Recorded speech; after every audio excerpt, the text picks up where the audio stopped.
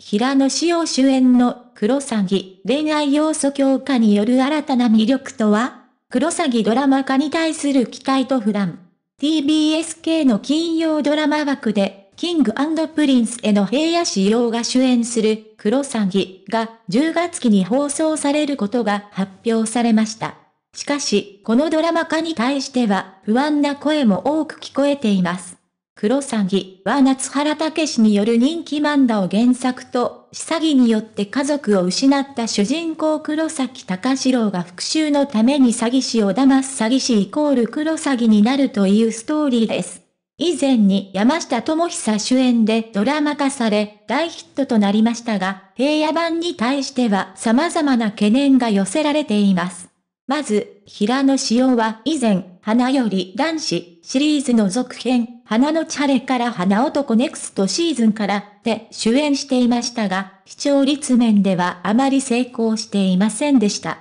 そのため、今回のクロサギに対しても視聴者からは演技力や人気度に不安視する声が上がっています。さらに演出や脚本に変更があり、原案者の夏原武氏との距離感が指摘されています。夏原氏の独特な世界観やストーリーテリングがドラマ化においてどのように再現されるのか心配される要素でもあります。また、黒詐欺には女優の黒島結菜も出演することが決定しましたが、これに対しては一部のファンから予反応が見られています。黒島結菜はこれまでに多くのドラマや映画で活躍しており、演技力に定評がありますが、原作ファンや既存の視聴者の中には、彼女のキャスティングについて疑問や抵抗感を抱く人もいるようです。これまでのキャラクターイメージや演技スタイルとの相性に不安を抱く声もあるようです。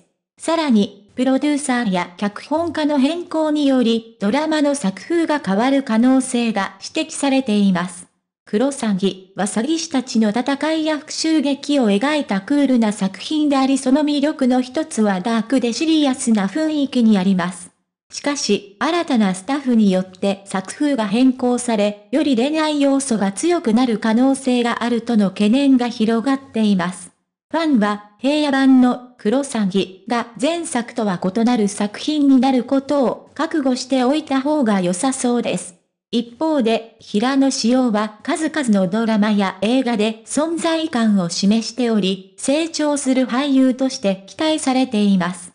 彼の演技力や魅力を活かした新たな解釈や表現が見られるかもしれません。また、脚本や演出についても、新たな視点やアイデアを取り入れることで、より魅力的な作品に仕上げる可能性もあります。クロサギのドラマ化に対しては期待と不安が入り混じっています。一部のファンからは、前作とは異なる新たな展開や表現を求める声もありますが、一方で原作ファンや既存の視聴者にとっては、原作の世界観やキャラクターへの忠実な再現が求められることも事実です。放送までの間には、様々な意見が交わされることでしょう。しかし、最終的な評価は放送後になってからなので、視聴者はドラマがどのような結果をもたらすのか、実際に目で確かめる必要があります。大変お世話になりました。最新の情報をスムーズに受け取るために、ぜひチャンネル登録をお願いします。